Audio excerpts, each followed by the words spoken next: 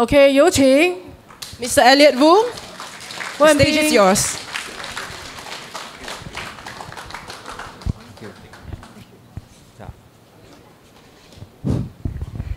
各位啊、下午好。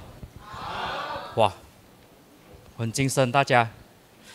OK，啊、这是我第二次用中文呃讲演讲，第一次是二零一九，有一份有一份稿了，这次没有稿，我尽量搞定它了。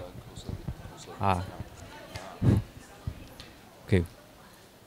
So，啊，我的名字是周问斌，呃，英语叫 Elliot，呃，我的工作在一家公司就叫毕马威，或者英语叫 KPMG，在班达乌塔姆 PJ 了啊，在八啊八达岭。那么我是在企业服务税，呃，主要是在咨询那边的工作，corporate tax Advisory。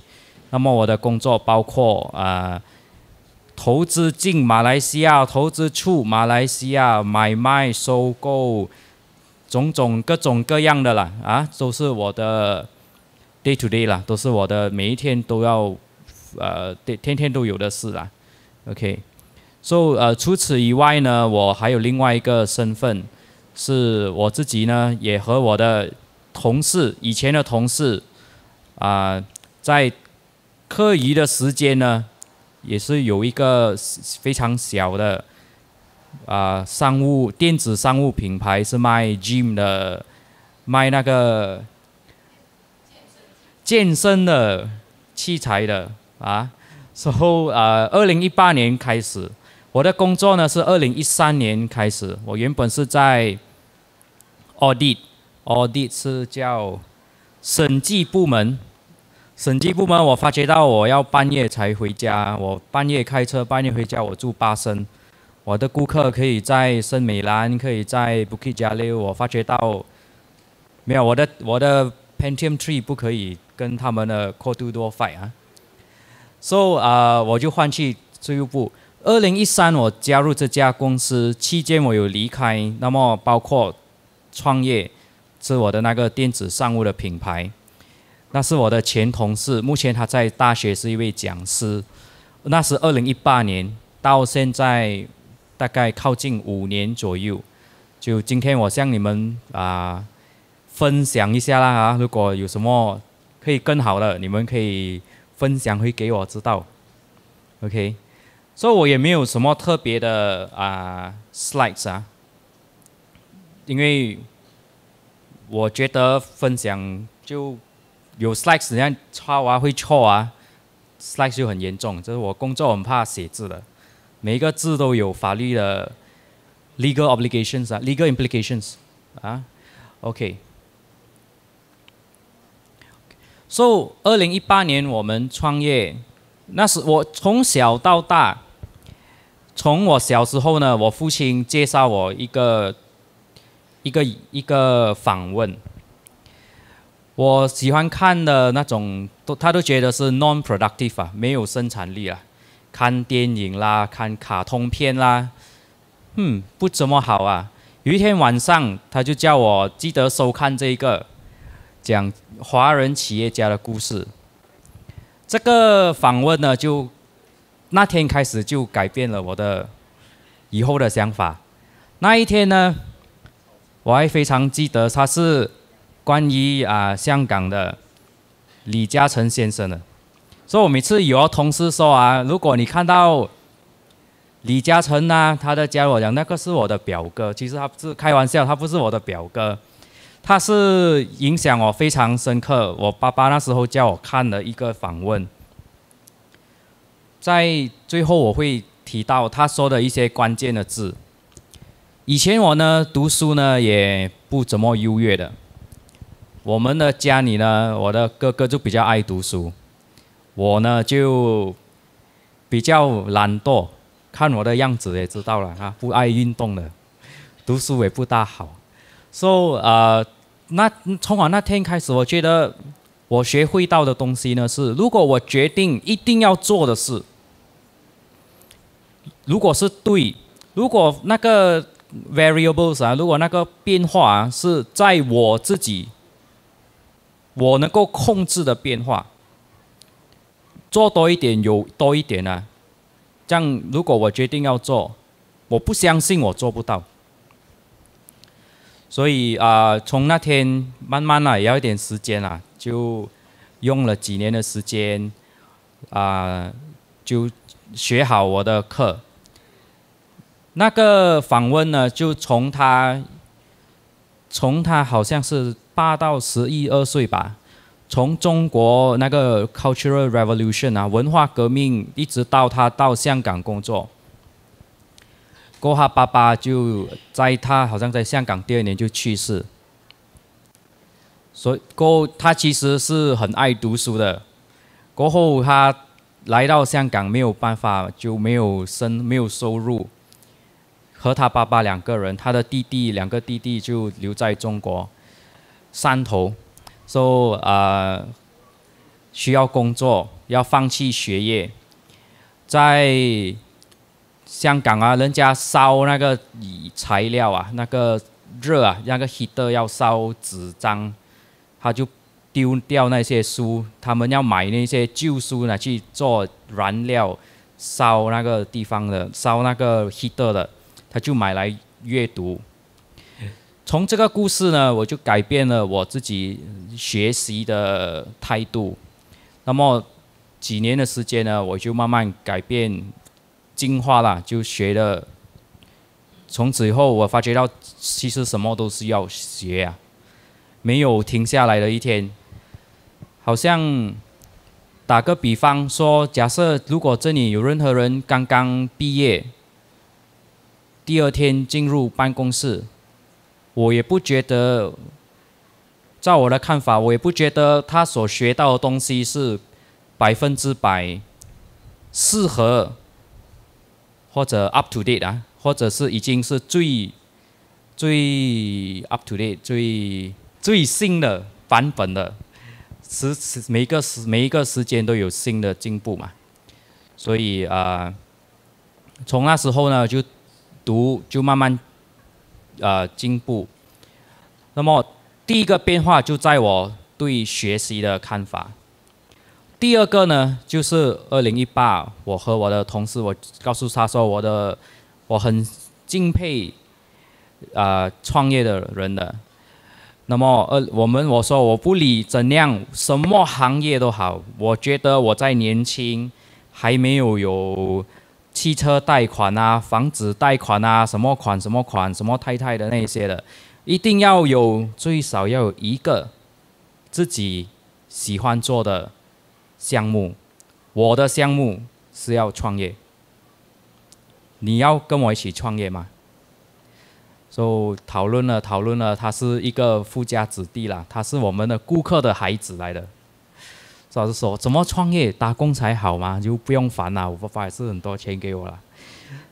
说 后来，最后我们决定创业，就是他喜欢的健身的器材。那么后来我也因为他的影响也去健身，只是现在工作繁忙，不好意思，有点失望。啊，所以我觉得年轻人现在呢，我们就就算我们自己公司呢，我们的人人力资源部呢也时常培训我们。其实我也不是很老了，就还蛮蛮年轻，怎样应付？新一代的年轻人要应付这个字了啊，应该很恰当。我们的那一套，或者我老板的那一套呢？我老板那套觉得在我们身上不管用。我们现在我学的这一套呢，应用在他们身上也是不管用。我每次向年轻人说，他们其实有 intrinsic value，有潜在的能力的。其实只要付出多一点点。就有多一点点收获，所以我们的公司的人力资源部呢，就时常培训我们怎样 encourage，怎样激活他们的能力啊。？So，这是我的工作，一切二零一八到现在，maybe 我加入第第一个是关于呃创业，在这里有可能我比较 under qualified 了啊，我你们比较有经验，但是就从我的角度，我是一位会计师，从我的角度，我的镜头呢，看看我对一个创业，因为今天的主题是也是创业嘛啊，我觉得什么最重要？第一。作为在创业呢，最重要呢是要有现金流啦，这是我的看法。有现金，你才有成本，才有资本的在营运下去。我创业呢，或者我在公司呢，我是最讨厌听到一个字说我要 uplift 我的 FD 啊，啊，我要有什么计划，人不在我们的规划范围内，这个叫 surprise。有惊吓我啊！我这个我不喜欢，现金流要有一个计划。第二是风险管理，风险管理呢，在我的工作的用的十分恰到叫恰当，时常都会有一些啊 dispute，有一些啊有一些吵架是吗？不不是吵哦，是写字的那个哦，叫什么 dispute 啦啊。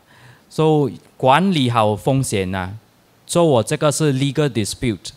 那么如果有 financial issues，有 financial disputes，有一些任何的东西，好像健身器材呢，如果你没有小心呢，告诉你的顾客呢，如果那个用法不对，他爬得高啊，放我的用我们的公司的器材啊，放跌下来啊，脚断啊，哦，我还要。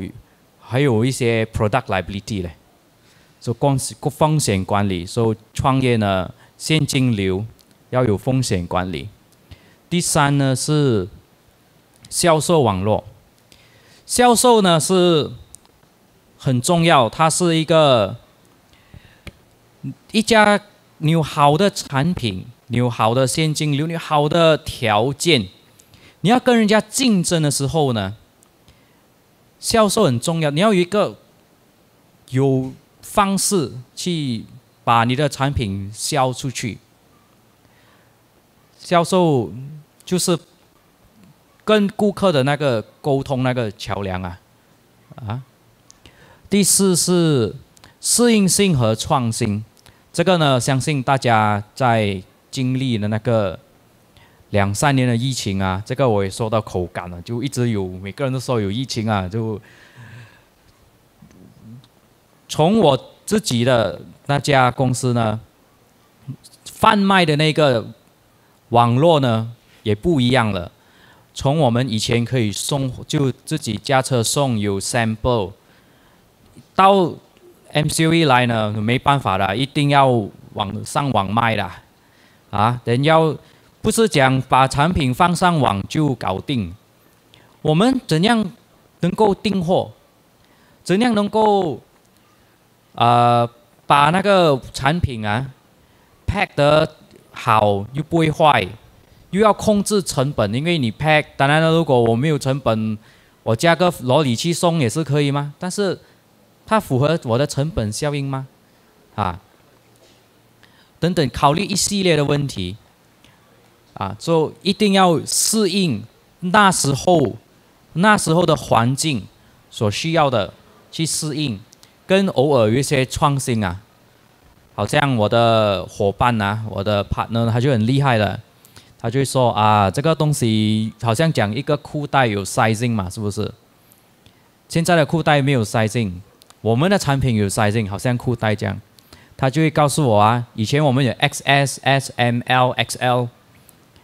后来我们发觉到啊，原来是那个打洞孔的问题罢了吧？长度是每个是一样的嘛？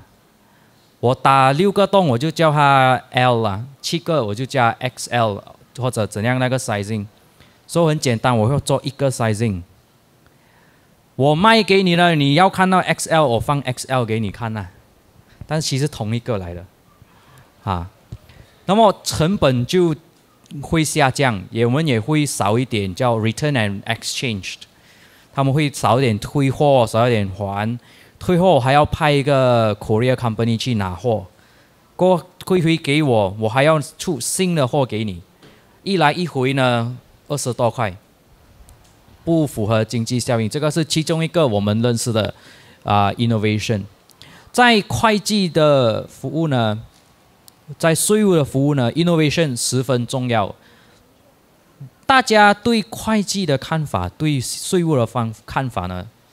有可能第一，你们会想到是那个税务局比较 hostile 啊，比较侵略性啊。有可能如果你们有生意啊，或者你们有高收入啊，你们会说哇，时常来调查我。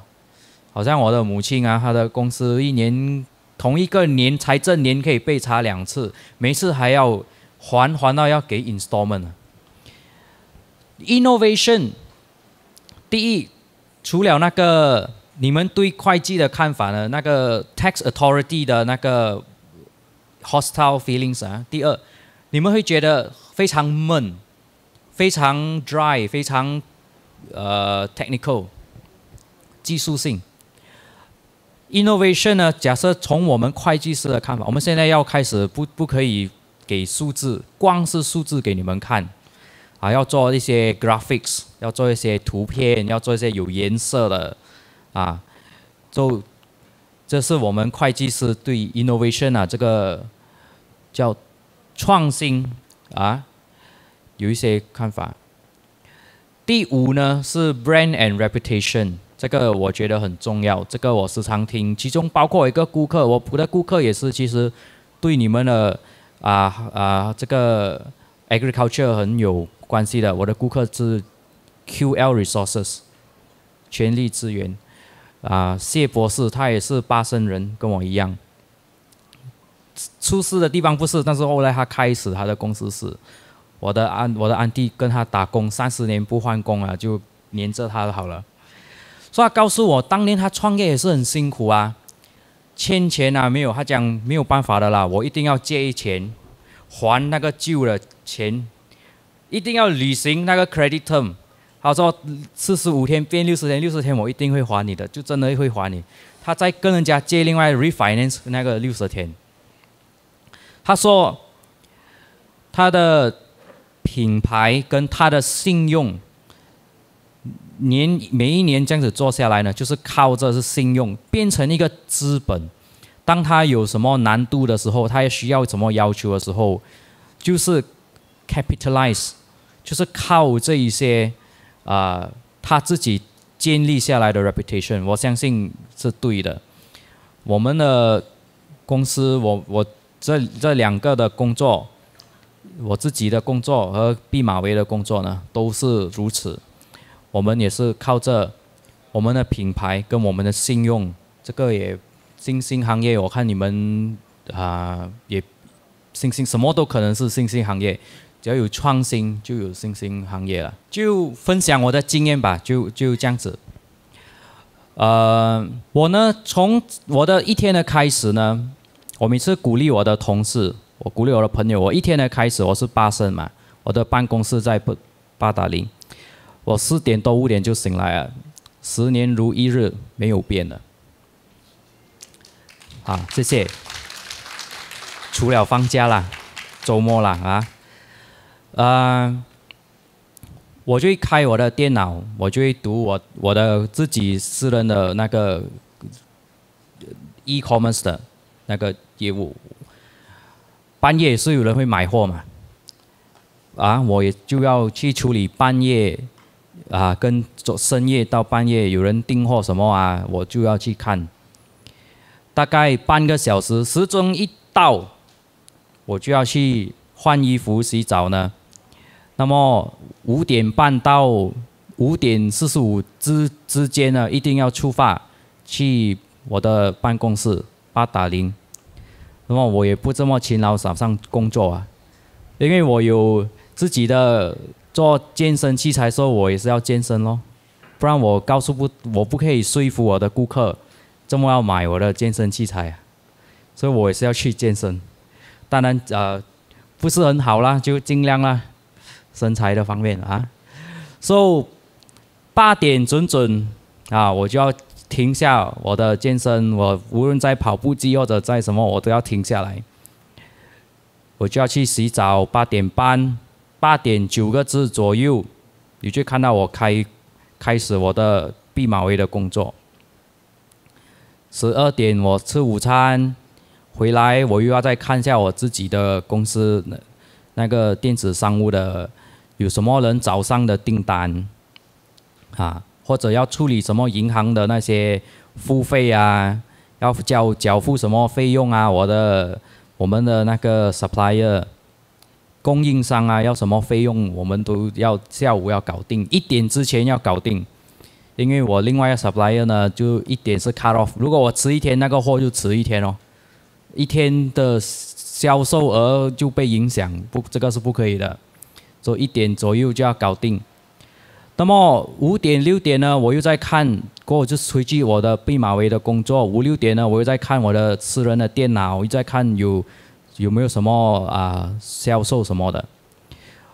过于继续我的工作，因为会计师呢，如果你不知道呢，五点半是不能回，还不能回家的，是犯法的，你知道吗？啊，啊，八点啦，还可以啦。我是七点就，我的我的头脑就不能操作啊，我一定要吃晚餐。八点这样，我再看需要我留下来吗？什么？我每次告诉其他我的同事或者其他的。呃，年轻人，我也是啦。虽然啊，就现在的这么，你们只是一份工作，八点半叫你来上班，六点给你回家啦。你要回家上班，你回家上班，这么你还不能够把你的工作做好？我相信有 intrinsic value 啦，有很多还可以激发的潜能啦，啊。所以，嗯，这是我的活力，这个是我相信的一套，这个也是我被啊李嘉诚先生感染的啦。这是我第一次向公众这里说，我其实很敬敬佩他了。我其实我是不敢说，然后没有什么，我就啊，OK，今天的主题很好，我分享我的秘密啊，谢谢，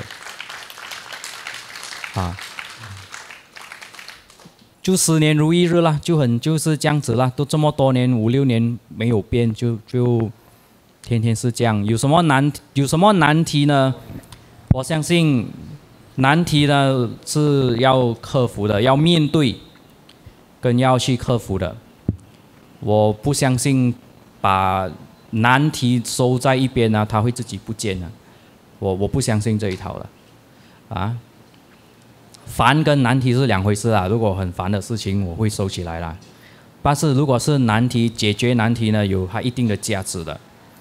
如果解决了那个难题呢，有一些好处，有一些价值，好像讲，这么每一次我们呃这样子的操作，会有一些小小这个问题那里呢，我这个一定要解决的，它有它的价值的，啊。嗯，好，就就放在这里。你们有什么问题要问我，或者我可以分享什么给你们吗？我先，我有问题要请教你。是是。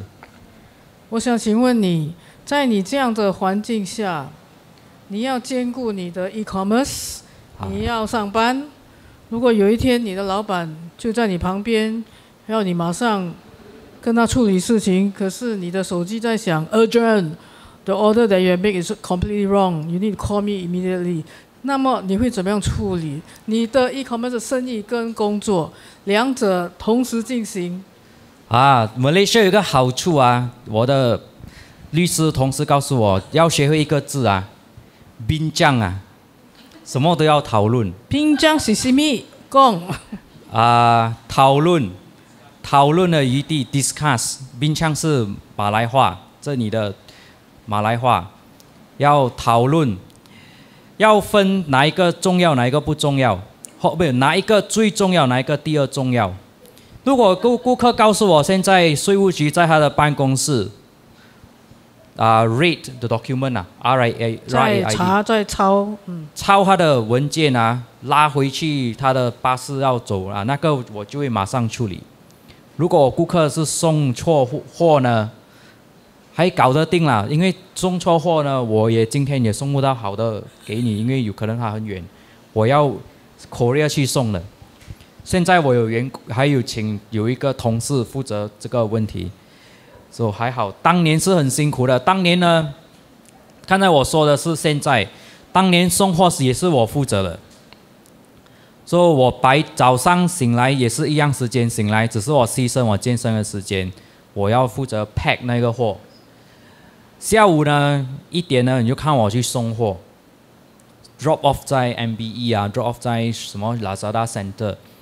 晚上呢加班完了我又去 pack，就放在两三个大的箱子呢就推上我的车，之后第二天去送货。但是现在还没有这样。但是如果有什么难题，我相信要要 assess 啊，要 A S S E S S，呃，要要看哪一个最重要，等要大家要有讨论。其实也不是很，不是说两个两个职业的问题，就算同一个职业，就算会计、税务，时常我因为我们我我不可能只有一个顾客，我我有几个几十个顾客。天天都有 urgent，好像刚才有一个寄一个七十页的文件给我，它是一个合约，我不并不是一个律师。啊，他叫我今天五点半看完了七十页给他，所以等我可能会赶回去，但是我说没有可能看完七十页的。你五点半要呢？五点半的水准呢？就是你告诉我你要我看哪一行就好了。啊，要适应。要适应自己的，调节自己的心态，就就这样子就过去了，啊。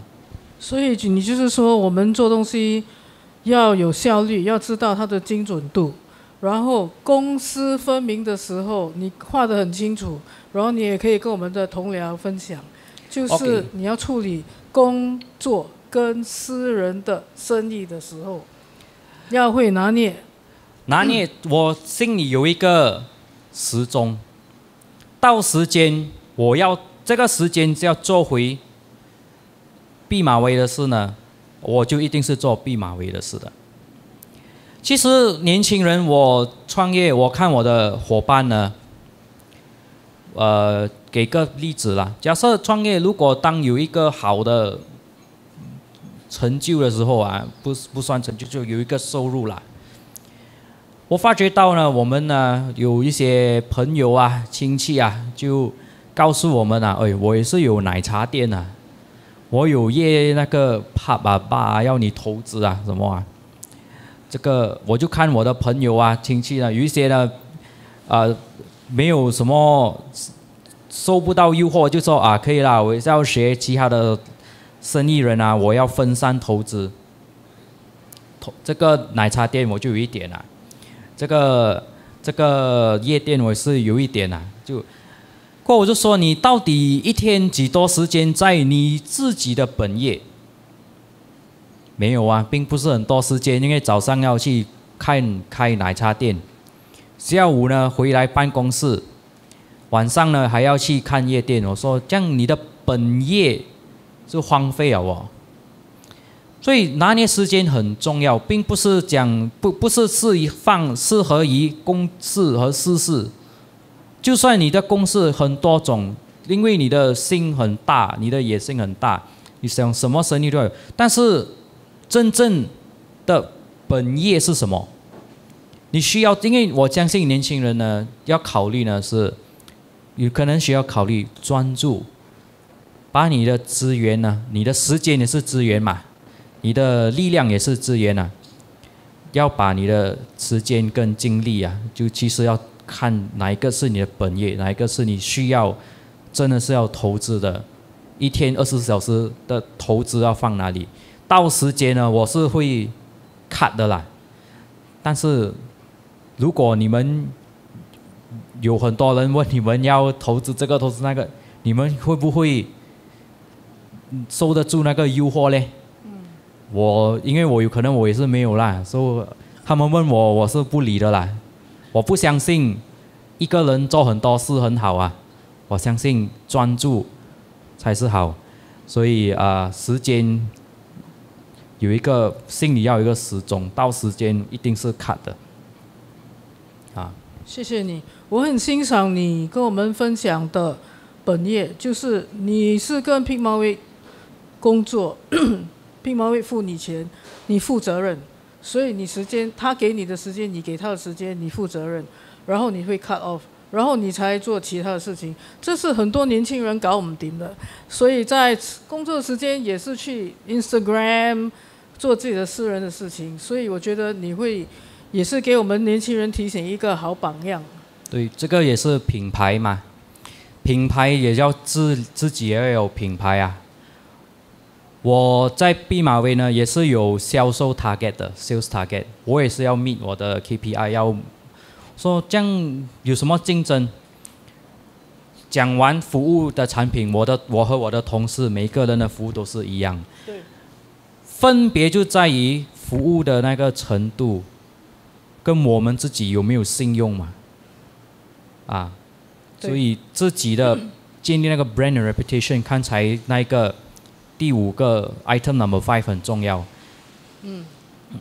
自自己也要有自己的小小的品牌啦。就顾客说啊，可以啦，我放心啦啊，让我其实我也是很开心啊。他说不不不用这样担心啊，我说 OK 啦，啊。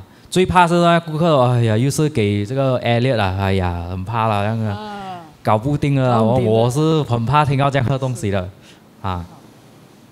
最后还有想请教你一个问题，就是现在的年轻人，你会发现他们不阅读、不看书，什么都不来，但是你又要他们跟时间、跟时代一起进步，to get new ideas and to get the latest technology to 创业。So what is your advice? 来收取世界上最新的兴趣。当然，现在网络、网际网络这么的、这么样的盛行，但是 these are all commercialized stuff. How about 自己的品行、修养、内心 inner self，同时要进行的？当然，你有什么可以分享吗？OK，这个问题有两个层面。第一，呃，要怎样收集到新的 idea 啦？啊？第二是自己的品行修养啊，这个有可能我们不是很好，但是我自看大。第一，我我承认啊，现在呢文字衰退是非常现实的事情。我们对文字的耐性不比我们对图片有颜色有 graphics 最好会动的啦。好像有顾客说，你不要给我那个。报表有很多照片，很多号码的，我他们不会看的，他们只会打一个电话说：“你可以第二天来我的办公室重新说一次吗？”其实那个文件跟我去说的是一样的，这个是文字，我我我自己定型为文字衰退了，有可能技术上有更好的名字。他的意思呢，我自己的解读解解说呢，就是说我们人类。现在二十一世纪对文字不大感，可能的兴趣有下降。我们对视频、对图片的兴趣跟耐性会比较高。那么现在的年轻人想要创业或者要找一些新的点子啊，那么。其实 YouTube 也是很多点子啊，Instagram 看你怎样用啊。我的 Instagram 一般一般啦，一般是非常 technical 的，一般是我的朋友的 technical 可以是说啊，讲说是那个什么潜水艇怎样操作，我不知道你们的 Instagram 会不会看这些东西，啊，说现在年轻人，你你们其实我相信条件不比以前差，好像我的。爸爸的时候啊，我的爷爷的时候，我看我们也不用逃难了，也没有战争，我们反而有优势在我们的网际网络啊，我们的很很多，我们有很多优势。我们今天要找一个人，我们打一个电话就可以了。以前有这样方便，我不觉得以前还要放 smoke signal 可能。这个是我们的优势，我们的我们的价值是在于我们怎样使用我们的优势。跟解决我们的问题来创造价值，我不，我我觉得现在是靠这个来找吃的了啦，大家是要是要接受咯。第二个，自己的品行修养呢，嗯，我就很闷的啦，我的人，除了吃之外，啊，可能晚上你打电话给我，我可能在喝酒咯。啊，最近啦啊，最近我的同事喜欢喝酒，嗯，没有什么特别的，所以我的品行修养，有可能不不一定讲品修养要讲到很很严很很非常严肃。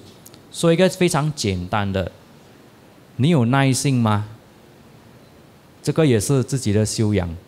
老实说，我没有什么，但是我也是在进步，承认自己的缺点，来变成进步的一个要进步的问进步的一个 task to do list，我觉得就不错了。这个是我自己的相信啦，我相信的东西，我相信的原则。好，谢谢各位哦。谢谢。大家有什么问题要问？呃，问兵吗？没有的话，我们有一个感谢状。